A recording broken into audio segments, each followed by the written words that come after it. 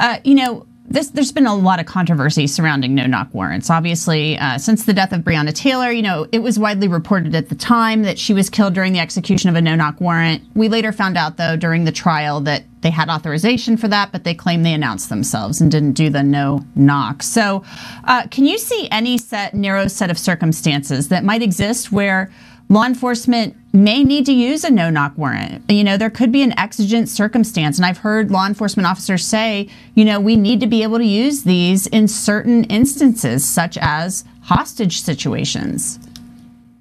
Sure. I, I think blanket policies in regards to anything are probably a bad idea.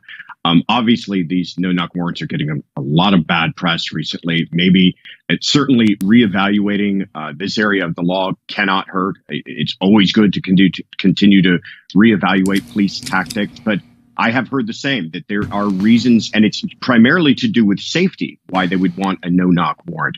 Um, so I, I, think it's important that would, however we decide to proceed as a, as a as a country and as a people and making our laws that we make sure that that's done on a basis of trying to decide which is the best result, but not kind of a gut reaction to horrible instances like this and giving a blanket policy that might not lead to the results we were hoping for.